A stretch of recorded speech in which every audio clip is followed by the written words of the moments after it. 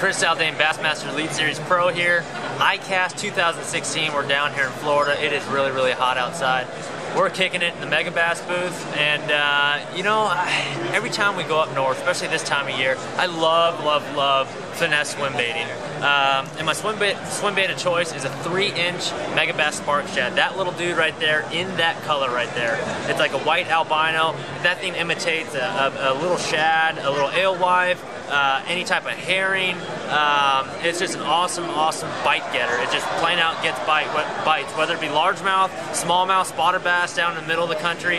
Um, I love rigging this thing either on an Okashira screw head, screw type head in a really light eighth ounce, or a simple lead ball head. I mean, you can literally pick them up at any tackle store.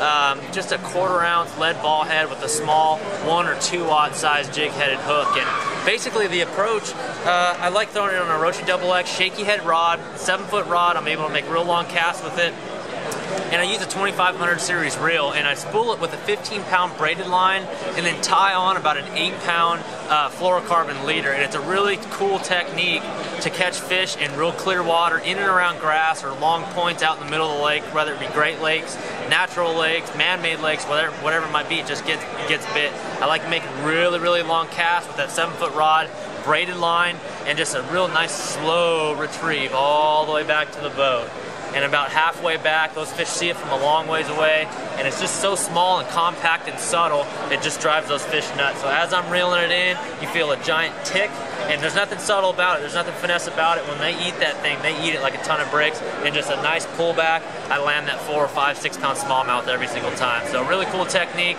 uh, up north especially, but all around the country. Uh, finesse swim baiting with the Megabass Spark Shad.